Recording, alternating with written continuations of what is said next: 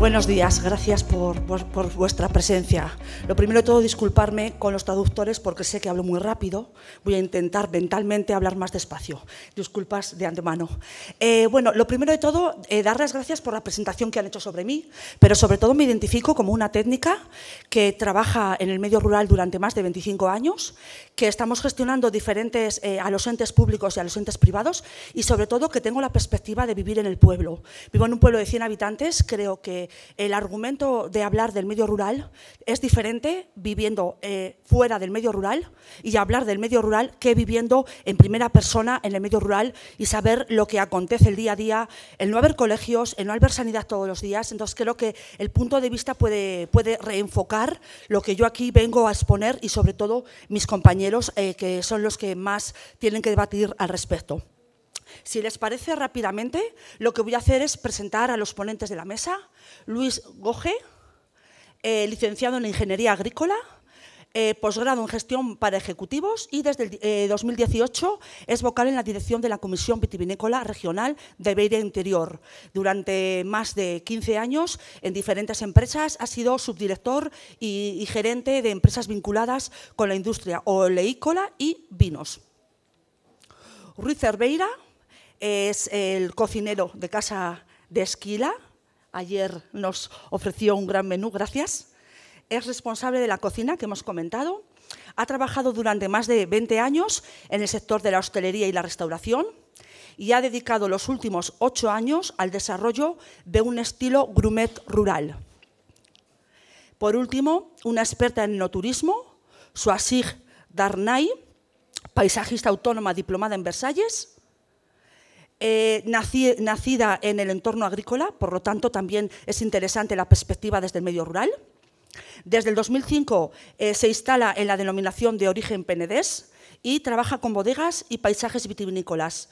Y desde el, dos- eh, desde el 2008 está referenciada en la red de profesionales del Instituto Francés del Vino, integró el equipo de investigación de turismo de la Universidad de París y eh, forma parte de los grupos de trabajo del patrimonio cultural y paisaje en ICOMOS. Eh, también eh, disculpar la no presencia de Iker Urcelay, que por eh, motivos personales no nos puede acompañar. Entonces, si les parece, lo que vamos a hacer es, eh, lo primero de todo, y dado que el título de nuestra mesa, que no me lo sé de memoria, enogastronomía como mo- eh, motivación principal para el viajero. Si les parece, lo que voy a hacer es una definición de diccionario de lo que es enogastronomía y enoturismo o turismo enológico. Y a partir de ahí comenzamos el debate estructurándolo en producto, en cliente y en entorno. A ver, la enogastronomía es la unión de la enología y de la gastronomía referido a un territorio. Para los apasionados del sector, la enogastronomía es una lectura alternativa de la historia y de la geografía de un entorno, perdón, de un territorio, a partir de las mesas de las poblaciones que lo habitan. Denominaciones de origen, IGPs, por lo tanto, lo identifican como que está estrechamente ligada al territorio de producción. Y la definición de enoturismo o turismo enológico es un tipo de turismo enfocado en las zonas de producción, vinícolas y se relaciona con el turismo gastronómico y con el turismo cultural, dependiendo del carácter histórico o artístico de la industria vinícola en la zona como patrimonio industrial. Bueno, eh, al trabajar previamente la mesa, ya hubo un pequeño debate en la si realmente el enoturismo tenía que ir vinculado con el territorio. Entonces, si les parece, la primera invitada que quiero que participe por esa discrepancia con la definición del diccionario de estos dos conceptos, eh, le voy a pasar la palabra a Darnay o a para que nos haga su apreciación sobre estas definiciones.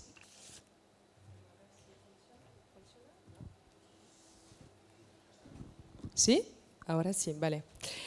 Bueno, sí, el tema, en realidad, el tema de la definición del enoturismo, de la enogastronomía, es algo muy, muy reciente que está aún por, por aclarar. Hay mucha gente que, que, se pregunta lo que es y, y sí, yo tenía una pequeña reserva en cuanto a esta definición por la relación al territorio, porque en realidad como hemos dicho, vivimos mucho en las ciudades y hay una, un enogastroturismo en las ciudades, hay un enoturismo que se hace desde la ciudad también, que puede estar totalmente desconectado de, de la viticultura o de, del territorio.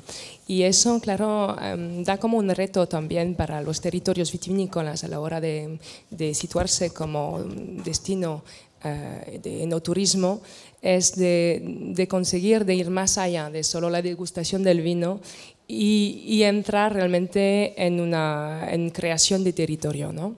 Y bueno, quería solo hacer este, este pequeño comentario.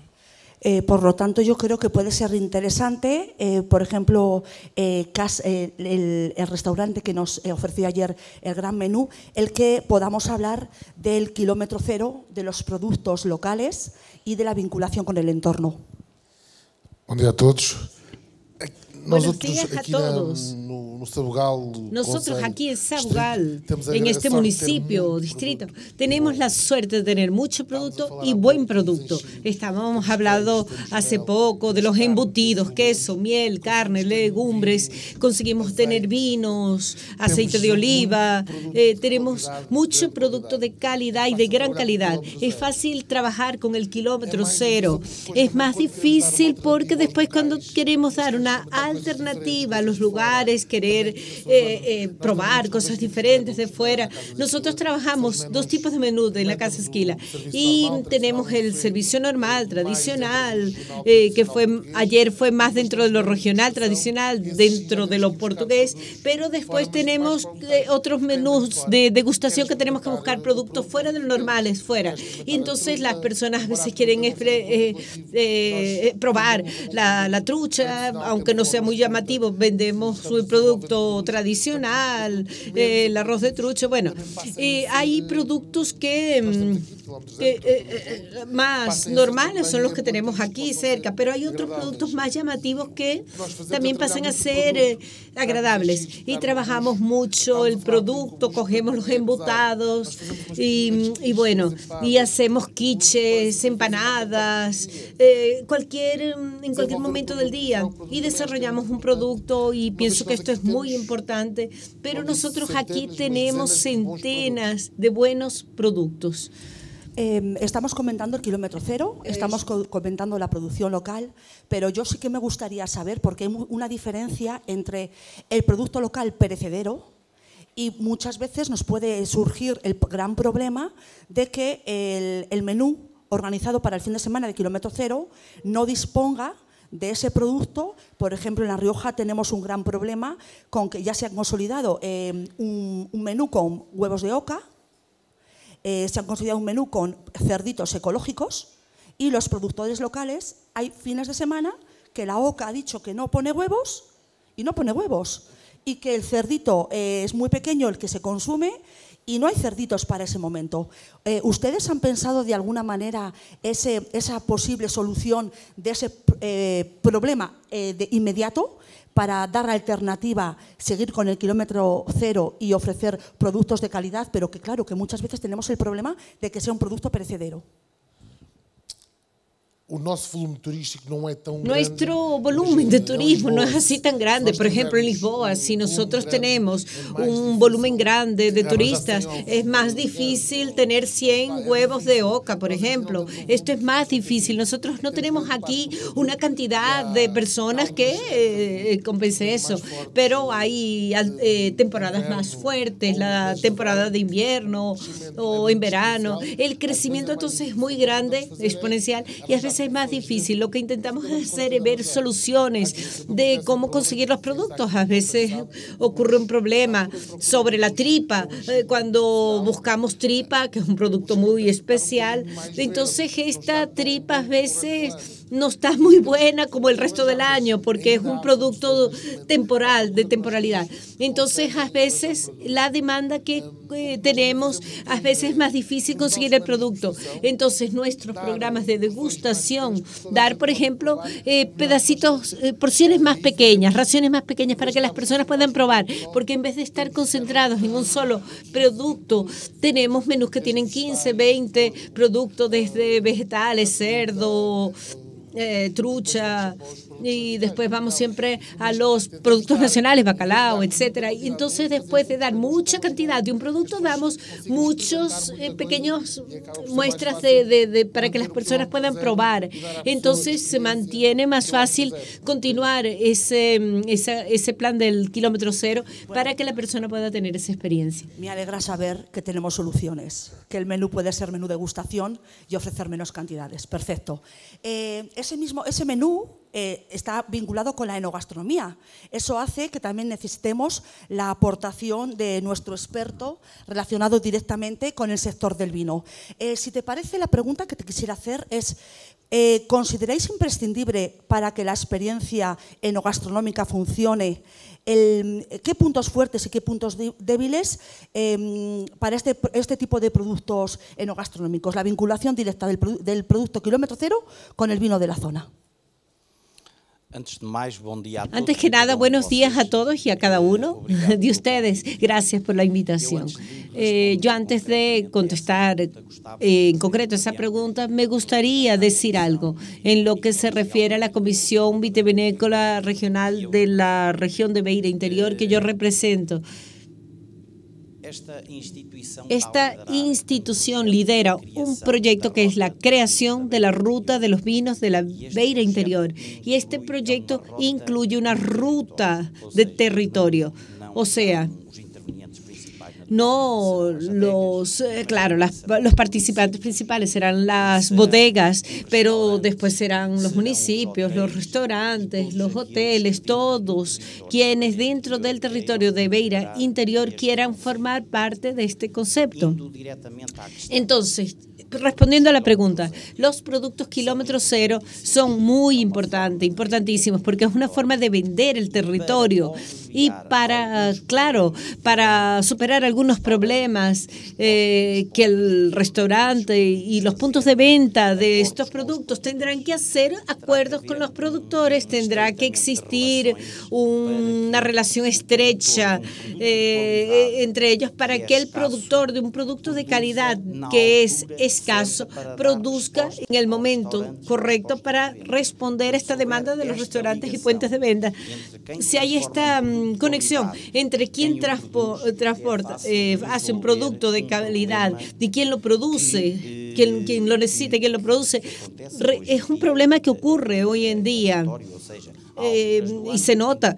Eh, hay momentos en el año que en que determinados productos no aparecen en restaurantes la cantidad suficiente para dar respuesta a la demanda. Es lo que mm, pasa. Y por otra parte, para los puntos, para las fortalezas y debilidades de este eh, contexto, en este marco, en principal en el interior, en estas zonas que tienen muy baja densidad de población, que tienen dificultad de, de, de cativar, de atraer técnicos profesionales relacionados con la hotelería, y eh, vinculados al enoturismo para poder eh, dar su participación en estos territorios. Tanto más que en los grandes centros hay una demanda intensa de estos técnicos y mientras que ellos tengan la demanda de estos grandes centros, ellos entonces no estarán muy disponibles para venir a estos territorios de baja densidad de población.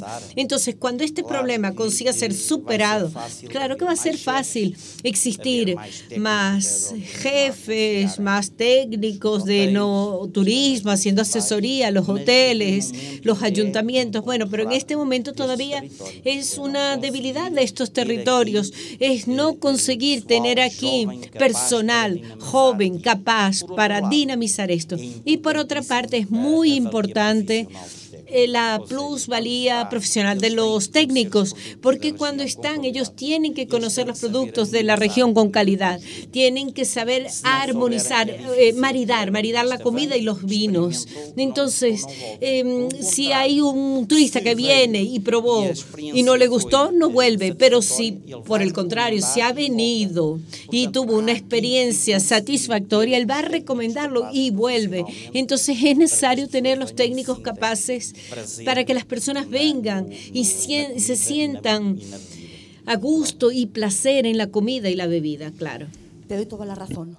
Las gestiones de las rutas del vino tienen que empezar de abajo arriba, hablar con el territorio, hablar con las personas, ver las necesidades reales y buscar esos, em, esas líneas de formación.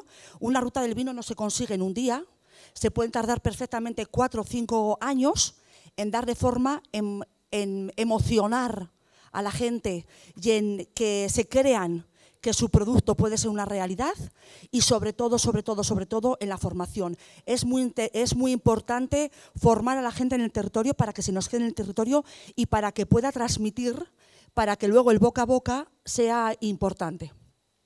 Bueno, si les parece ahora, ya que hemos estado hablando del kilómetro cero y de las diferentes eh, ofertas de menús con los que podemos contar y por lo tanto también con los menús Grumet, me gustaría también que em, comentaseis la opinión eh, al respecto del auge en los restaurantes Estrella Michelin en los entornos rurales. Eh, si te parece, por favor, eh, Suazig, nos haces un comentario al respecto. Gracias.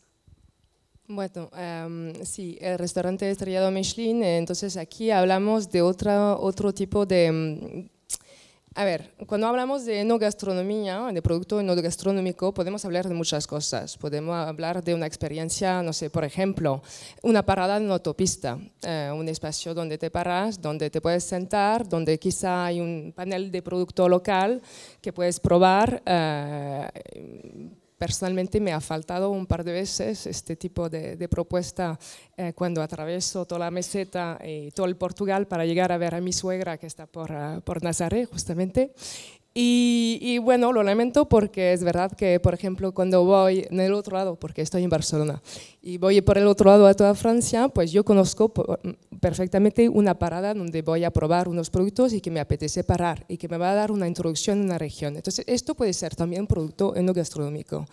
Eh, puede ser un producto enogastronómico, cualquier cosa que combina un, un, sitio donde hay vino y donde hay buena comida, ¿no? una comida con cierta firma de origen.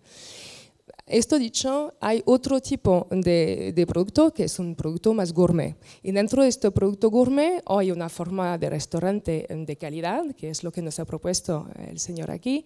O también, entonces, vamos a otro nivel, que donde se va a trabajar, por ejemplo, el maridaje, ¿no? el maridaje entre vino y un plato concreto, que esto es aún otro producto. Entonces, claro, hablar de una gastronomía es hablar de todos estos productos.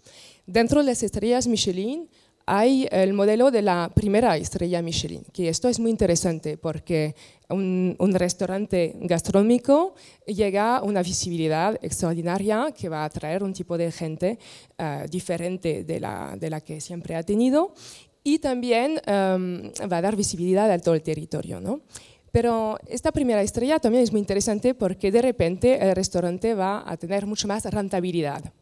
Al momento que entramos en modelos de dos estrellas o de tres estrellas Michelin, estamos poniendo mucho más altos eh, los requisitos y las necesidades de, funcionar están mucho más complicadas, ¿no? porque vas a tener un, personal mucho más importante, vas a tener que mantener una alta calidad de producto y la gente que te va a venir a ver eh, va a ser totalmente distinta. Bueno, he cogido unos números porque, como hemos hablado antes, me había dicho estaría bien de, tener un ejemplo. ¿no?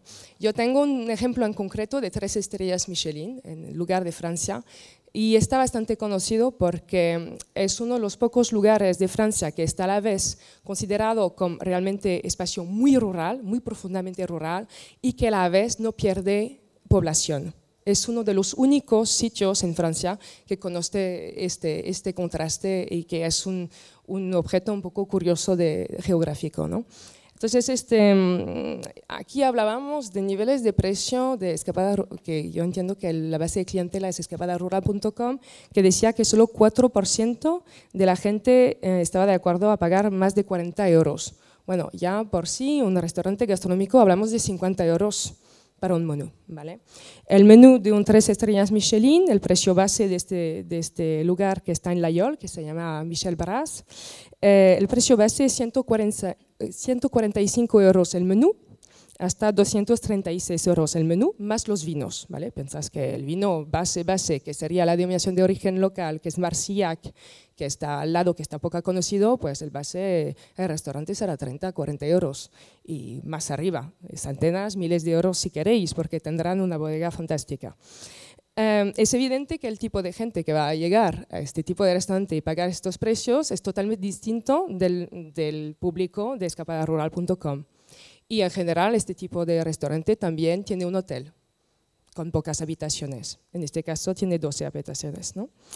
Ah, ¿Qué os puedo decir? Este hombre, por ejemplo, cuando habla del lugar, cuando habla de su proyecto de restauración, dice, hemos nacido en esta meseta, hemos pasado una infancia feliz y trabajamos aquí. Encontramos aquí nuestra razón de vivir y nuestra inspiración.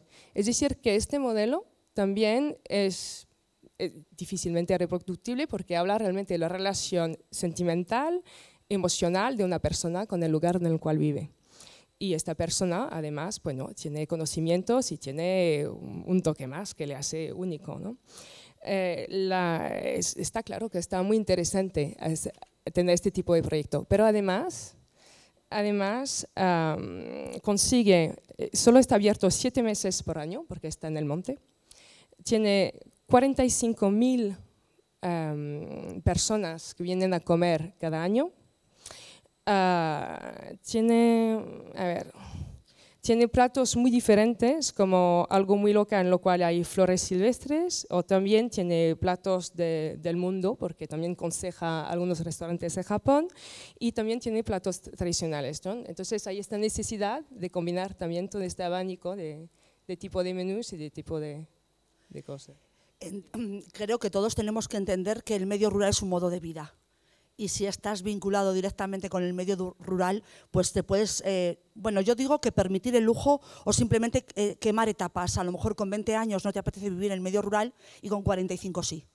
Eh, creo que mm, un negocio en el que hable, abra siete meses al año en el medio rural es que, que vaya viabilidad económica que tiene que tener durante esos siete meses para que se le permita vivir en el medio rural y también para poder llegar a un menú entre los 150 y los 250 eh, euros por menú, ¿cuánta trayectoria previa ha tenido que tener? Entiendo que las estrellas Michelin son proyectos de 15, 20, 25 años, son proyectos a medio o largo plazo. Porque tenemos unas fechas, bueno, él ha abierto su, su restaurante en 1985 y crea este hotel-restaurante único en 92 y ahora lo que es interesante, ha recuperado otro, otro bar dentro del pueblo, en lo cual ofrece menú de 30 euros, un sitio distinto, con también tapas y todo esto. Y detrás, pero detrás lo que quería decir es el número de personas que trabajan ahí.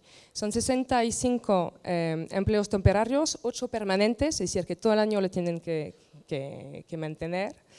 Mm, pero em, también, entonces, eh, después ha creado como una escuela, ¿no? Una escuela para permitir a los jóvenes no solo de formarse y de, de, tener mano de obra local, pero también em, para, tiene como un empuje para encontrar trabajo fuera y, y, poder crear su propia empresa, ¿no? Hay realmente un eco muy importante. Entonces, claro, las estrellas Michelin es algo muy interesante pero es difícil de, de, tenerlo, de crearlo así. Son proyectos, sí, de 30 años o más. Efectivamente. Bueno, en la propia conversación ya hemos pasado de la, analítica del producto y a, analizar el cliente. Entonces, eh, las preguntas que yo ahora os propongo respecto al cliente es, ¿qué tipo de cliente es más receptivo a este tipo de propuesta enoturística? Y si creéis que hay un perfil estándar que nos va a llegar al territorio porque quiera una experiencia no turística.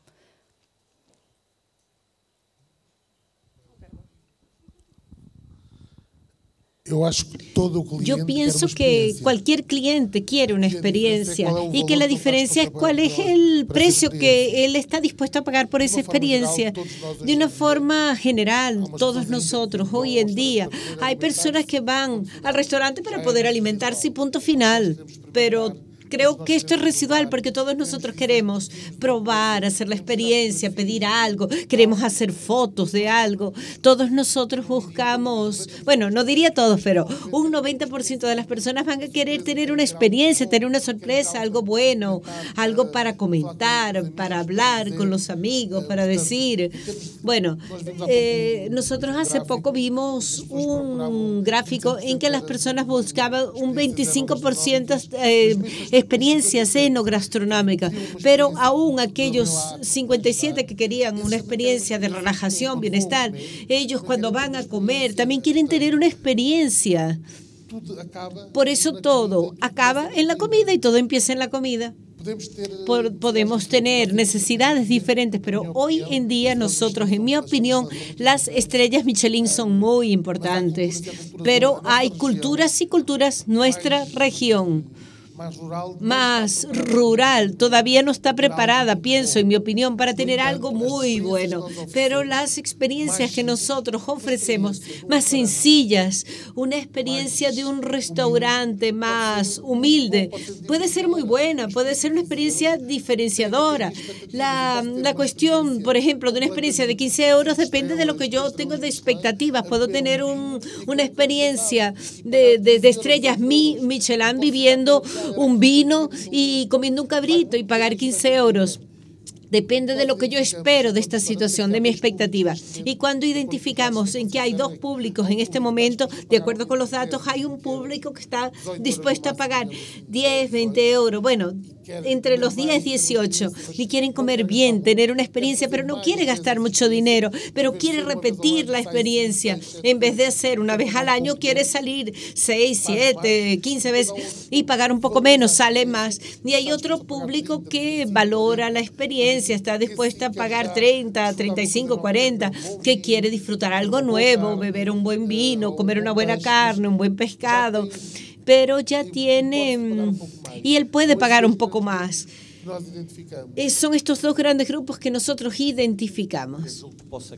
Yo pienso que puedo añadir aquí algo. Yo pienso que la segmentación se da por el poder económico del agente que quiere tener la experiencia. Hay gente que solo puede tener experiencias hasta 50 euros, hay otros que pueden tener experiencias hasta 1000 euros, o sea, depende de la capacidad económica del turista. Eh, para que se apunte a una experiencia o tener que rechazar otra experiencia. Yo creo que no hay aquí un perfil definido. En mi opinión, yo pienso que lo que más entra en la ecuación es la capacidad económica del pagar una experiencia, que mm, claro, si es más cara, en principio es más grande, es más implicativa, de una experiencia con, con, con vinos de tope, pues, que podrá maridar con la comida, eh, claro, una experiencia diferente que un portafolio de vinos que no sean de tope, o sea, son vinos para experiencias excepcionales. Y dos cosas. Bueno, ¿qué me apetece en ese momento? Yo, yo he visto cosas en restaurantes eh, en, que, en que el parking, los coches eh, son Porsches, Ferraris, bueno, muy interesantes, muchos Mercedes, BMW. Y después pasamos a la, a la, al comedor y la sala de degustación está más llena. Y y bueno, eh, hay momentos que, a, veces ni, ni, que tengamos mucho dinero, queremos beber o comer algo más sencillo, beber un vino más sencillo o queremos comer rápido porque queremos, bueno, depende de lo que nos apetece en el momento. Cada vez vivimos el momento y no es por estar viviendo un vino, hay vinos y tenemos ejemplos de ello. Vinos que, que, son superiores a 90 puntos y cuestan 5, 10 euros. Tenemos el Down, el vino Down, o el otro, el vino Cabrizo, uno de reserva, que es un vino muy barato, pero que es muy valorado. Eh, el Douro, eh, bueno, hay vinos baratos, pero que tienen muchos puntos y no tiene ver mm, eh, tener o no la experiencia. Hoy en día las personas quieren, buscan algo diferente y nos toca a nosotros como restaurantes, como región, proporcionar esa experiencia a las personas, caras o baratas. Bueno, más alta, menos alta, tal vez no hablar de caro y barato. Eh, ofrecer esta experiencia de una forma sencilla, directa, verdadera. Las personas notan cuando la experiencia es verdadera. Y nosotros en este territorio aquí donde estamos, Sabugal, tenemos ese privilegio. Y como hablamos al comienzo, de tener productos diferentes, verdaderos y productos de la región con conseguimos dar a lo largo del año cosas totalmente diferentes, distintas a lo largo del año. No hay cosas que están transversales, hay cosas que se comen todo el año. Y en el invierno tenemos otros productos, en verano tenemos otros y ofrecemos una experiencia totalmente diferente. Y hoy vemos grandes chefs de cocina nacionales, internacionales, que hacen cosas eh, fantásticas ahí eh, a la parrilla, en la plancha. Y bueno, ahí aquellas parrillas grandes como se hacen en Sudamérica. O sea, son cosas sencillas, pero son experiencias no sé, nosotros ponemos ahí a la plancha cabrito, eh, bueno, aquí en Sabogal tenemos grandes chefs. y, mm, por ejemplo, hay un gran chef que en este momento ahora está aquí trabajando en un restaurante que solo sirve mm, carnes a la parrilla. Y entonces, caro o barato es una experiencia que buscamos. A veces queremos una experiencia de un tipo, otras veces otro. Depende a, cómo estamos a nuestra disposición. Lo que interesa es que en aquel momento, aquel día, el, la comida me sepa bien. Puede ser el vino más barato del mundo, la comida más barata del mundo, pero bueno, yo digo, ay, que me sabe tan bien. Estamos hablando de la experiencia y tú estás comentando la experiencia de ti como cocinero, de la experiencia y el gusto de cocinar. Eh, vamos a trasladar a la experiencia del cliente. El cliente a lo mejor necesita que alguien explique el significado del corcho cuando se abre la botella que alguien le explique durante los dos primeros minutos el aroma que desprende ese vino, que alguien le explique cómo se ha elaborado esa, esa comida. Tú la estás viendo desde la experiencia del cocinero y a lo mejor es necesario que el cocinero salga dos minutos y explique a ese grupo de comensales cómo ha elaborado con qué productos lo ha elaborado para transmitir esa vivencia del cocinero a la vivencia del consumidor final. Eh, si os parece, vamos a pasar a la tercera línea vinculada con la enogastronomía. Hemos hablado del producto, hemos hablado del cliente y ahora sí que me gustaría hablar del contexto, hablar del entorno. Hemos hablado en la definición teórica que en, enogastronomía va vinculado con el entorno rural y aquí la compañera está comentando que la enogastronomía también puede ser en una gasolinera o en una autopista o en una gran ciudad. Entonces sí que me gustaría eh, trasladaros la pregunta de si se está trabajando en los entornos, rurales para dar un producto o servicio de, calidad adecuado y si son los propietarios de alojamientos rurales parte de esa oferta o si promocionan eh, suficientemente esa riqueza de los entornos y del paisaje a los clientes que vienen o solo se dedican a darles la comida, ofrecerles un vino, pero no les comentan ni les hablan del entorno. Bueno, yo creo que hay ejemplos de todos tipos, ¿no?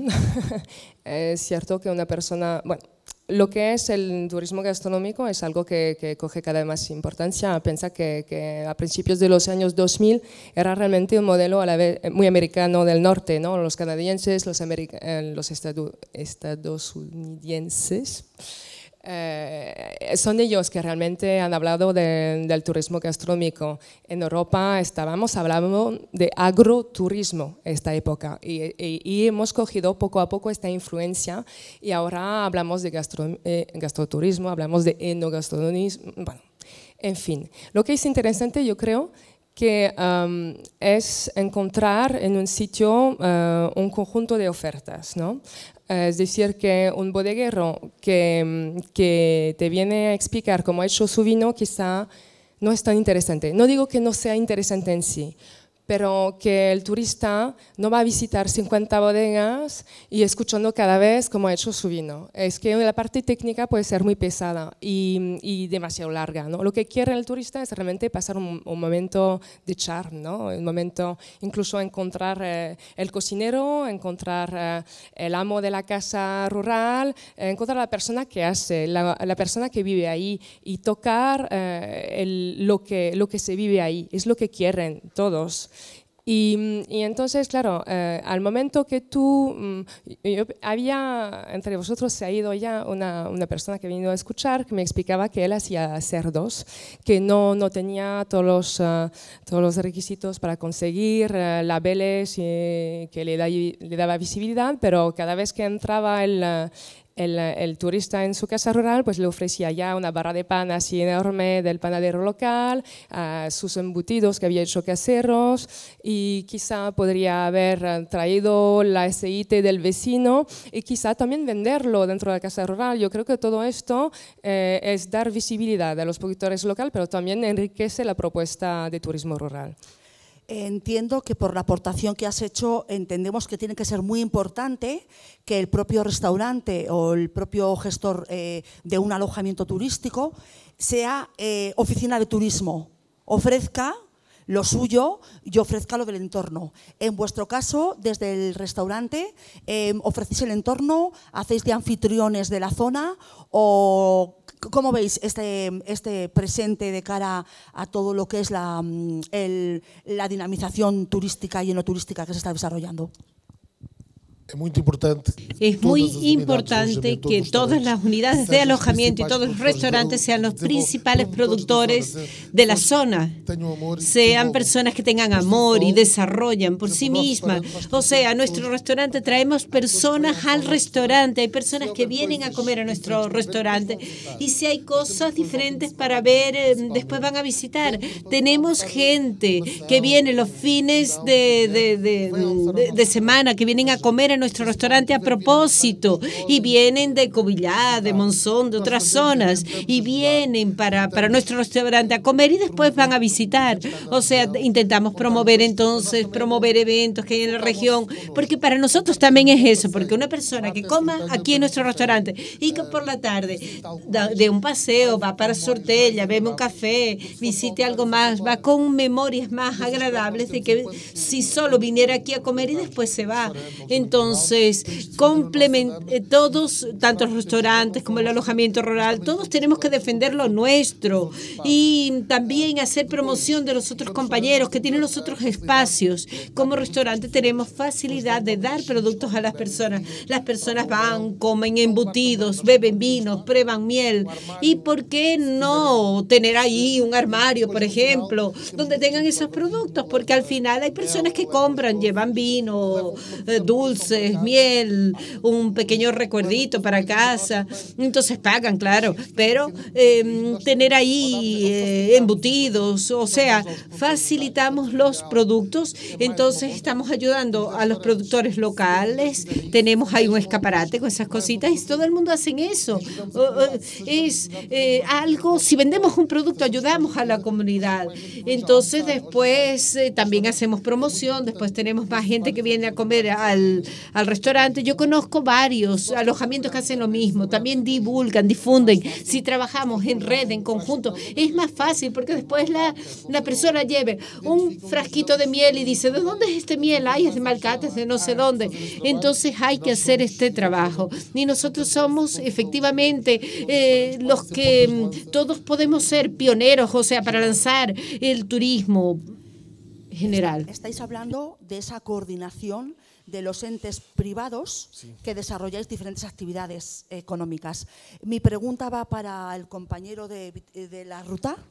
Em, ¿Y cómo se coordina, si es que se coordina, la colaboración entre los entes públicos y los entes privados? ¿Cómo se coordina? Bueno, ¿cómo se coordina? No sé bien. Sé que hay algo, hay un trabajo que hacer para eso. Pero en lo que se refiere a la región de Beira Interior, la región Centro Turismo, las aldeas históricas y la Comisión Vitivinícola tiene un protocolo, un acuerdo firmado en el sentido de difundir, divulgar la región y todo lo que de bueno se hace por aquí. Ahora, si usted me dice que está acabado este protocolo, eh, va a resolver todos los problemas, va a solucionar todos los problemas. No, hay un trabajo, hay una coordinación y comienza por este proyecto que está que ha empezado. Por eso nuestra realidad aquí es que mm, ha mm, existido una colaboración entre las entidades públicas, en concreto representadas por el turismo del centro, y después las unidades más locales, como son las aldeas históricas de la Comisión Vitivinícola, en el sentido de promover el vino y otro mm, eh, promover el, enoto, el enoturismo, otros la región en su totalidad, otros promover su municipio, porque quieran o no, los municipios son los gestores del territorio en su área de influencia. Entonces ellos son los, em, los que intervienen principalmente en su territorio. Y este trabajo no ha acabado, es un trabajo que está comenzando, pero pienso que van en el buen camino. Si me permiten una aportación, sé que soy moderadora, pero si me permiten la aportación de la gestión de las rutas del vino, es un trabajo a largo plazo de verdad, porque para hacer una ruta del vino, lo primero, el, patrimonio tiene que estar puesto en valor. Estamos hablando del patrimonio natural, cultural, paisajístico, para que después la actividad empresarial vea que puede haber un nicho de mercado e ir a, ese, a esa zona rural a asentar su actividad económica. Después de que el patrimonio está puesto en valor, después de que la actividad económica empieza a funcionar, hay que coordinar a esos entes eh, privados y a esos gestores del patrimonio público para que entre todos se haga una piña y se puedan ofrecer lo que hemos llamado siempre experiencias. Pero esas experiencias necesitan de un periodo de, mm, de pulido, de ver si hay viabilidad económica si ver si yo con el socio vecino me llevo bien o me llevo mal y no quiero colaborar. Entonces es un proceso a largo plazo que realmente entiendo y verifico que desde los fondos públicos, desde la aportación privada, todos tenemos que poner nuestro granito de arena para que el producto final sea la buena gestión de una ruta del vino, que es el resultado de que las actividades económicas funcionen individualmente y conjuntamente bien. Bueno, yo creo que mm, la idea de nuestro debate era que fuesen eh, preguntas cerradas para que las respuestas también fuesen eh, muy, muy, ligeras. Em, yo tengo una línea de conclusiones, pero si les parece, a lo mejor eh, podemos pasar al turno de preguntas y después con las respuestas y con, y con las conclusiones, un par de preguntitas, porque me dicen que tenemos solo cinco minutos. ¿Hay alguna pregunta, por favor? Bueno, pues o muy contenta o muy triste. O ustedes no han entendido todo, gracias, o no han entendido, nada y no les quieren hacer preguntas.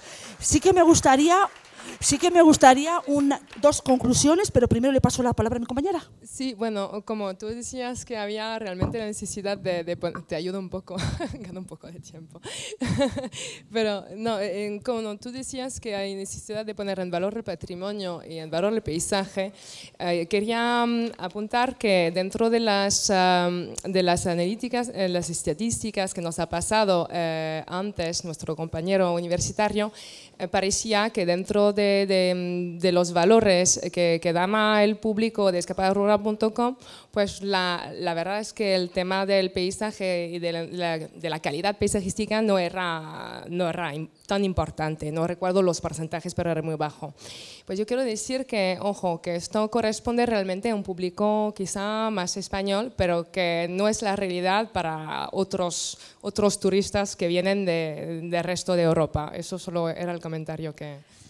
Bueno, si me permiten, me las conclusiones de esta ponencia van muy vinculadas con las conclusiones de las ponencias anteriores, porque yo entiendo que todo el, Congreso va relacionado.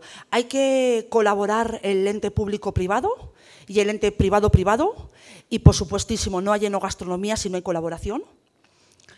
Em, es muy importante dar visibilidad a nuestros productos y nuestros servicios. Pecamos de hacer obras faraónicas, de tener megamuseos, pero luego no los conocemos. Yo me he quedado gratamente sorprendida de las visitas de estos días de atrás, no las conocía.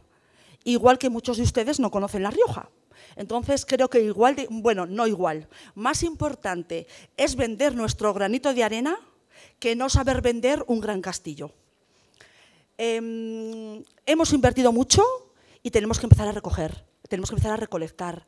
Em, porque la, empresa pública nos, dé dinero para invertir no significa que lo estemos haciendo bien. A lo mejor tenemos que meditar y esas inversiones tienen que ir más, más dirigidas a colaborar, a cooperar, a mover redes sociales, a tener un buen profesional formado para que nos mueva todo lo que queramos que nos mueva, a formarlo a nuestro criterio. Y muy importante, el tema de la empatía lo opuesto al compañero de atrás que ha dicho el concepto del pato, la empatía. Es muy importante vernos en la piel del turista y ofrecerle lo que quiere y adaptarlo a su necesidad. Tenemos muchísimos grupos de turistas y tenemos que saber previamente lo que quieren para adaptárselo. Es que a lo mejor lo que un grupo de familia quiere es que el niño esté entretenido pintando. Y a lo mejor le vendemos a esa familia una visita con el niño a una gran bodega que está hora y media y está aburrido a lo mejor tenemos que saber previamente y encuestarlo previamente qué necesidad quieren para nosotras podérsela ofrecer. Y también respecto a la ponencia anterior, es verdad, es muy difícil coordinar a los entes privados para montar ferias, para montar eventos. Entonces, por favor, vamos a abrir mentes. Nuestro vecino no es, no es una competencia, es nuestro colega no es un adversario, es nuestro fiel amigo y si uno gana, todos ganamos. Entonces, esas claves creo que quiero que se queden claras y que, bueno, que seguimos apostando por el medio rural. Gracias.